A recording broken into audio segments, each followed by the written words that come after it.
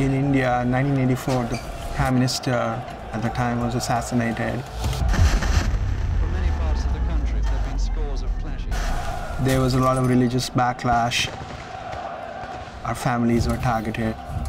A lot of people were killed. Soon after, there were elections.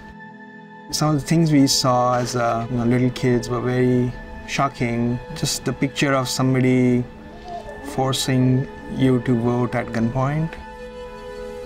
That was one of the big factors, and trying to figure out if technology can prevent things like that from happening.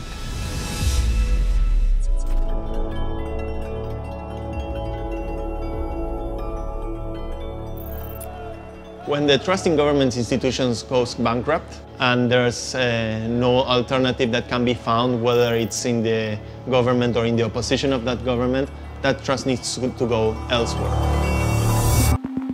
That's a lot of trust. And people have trusted that system for many generations, and we've kind of lost that trust. So we see blockchain as a, the most promising vehicle which can help rebuild some of that trust. The founding principles of what you call the blockchain world today are in the Bitcoin white paper. And in this white paper, you can see that really the founding principle in some ways is related to decentralization and trustlessness.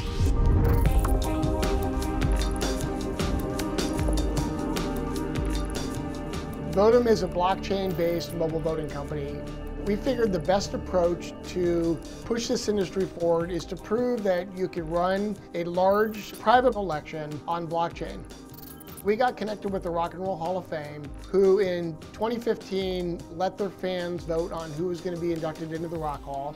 They picked essentially an off-the-shelf voting system, and within a couple of days, the vote was hacked. We ran their election in 2016. We got a million and a half votes that run through our blockchain platform. They vote on the candidates by simply checking a box. Once that happens, they submit a packet of that vote that then goes out to all the nodes simultaneously.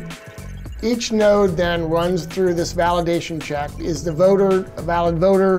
Is that ballot a legitimate ballot? Did it come from an IP address so we know it's blacklisted? Assuming that all those independent nodes then come to the same conclusion, they talk then to another node and say, yes, this is legit, yes, this is this legit, yes, this is legit. It's then written to the blockchain and it's tied to the previous vote before it. And that just continues to happen as the votes come in.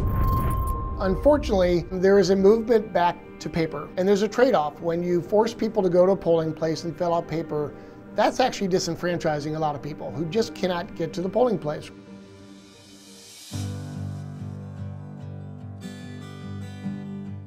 When some people think about our state, they might not necessarily think about innovation, much less West Virginia utilizing blockchain technology for the first time in the history of the United States in an election.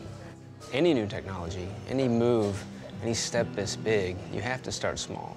Um, and we started here in Monongalia County and in Harrison County in our state, the two counties um, with experienced county clerks, decades of experience, and the drive to do something innovative. I come from a military family. Uh, a number of us have been through West Point and served in the, the Army, had a brother in the Navy. All four of my children served as well. I think there's just been a heritage here in West Virginia of service. Access to voting is a core of our democracy.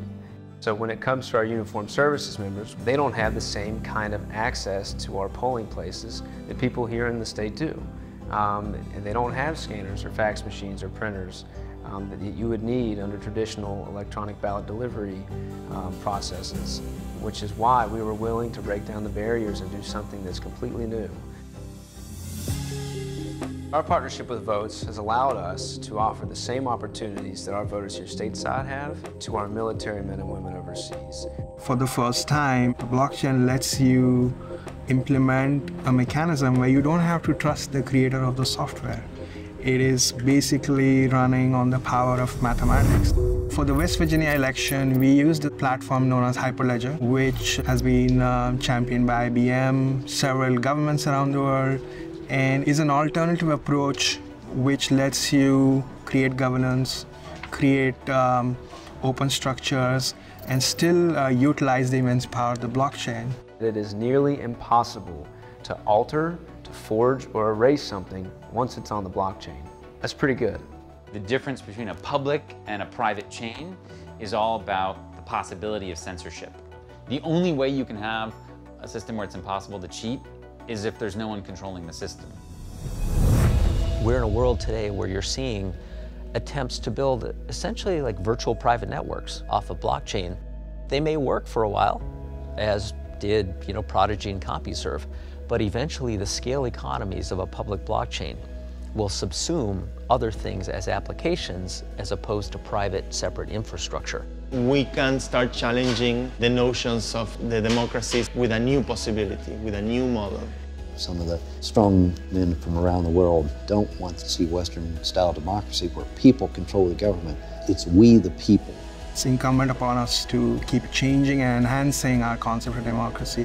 Regardless of your political affiliation, if more people vote, if everybody votes, that's a fair fight.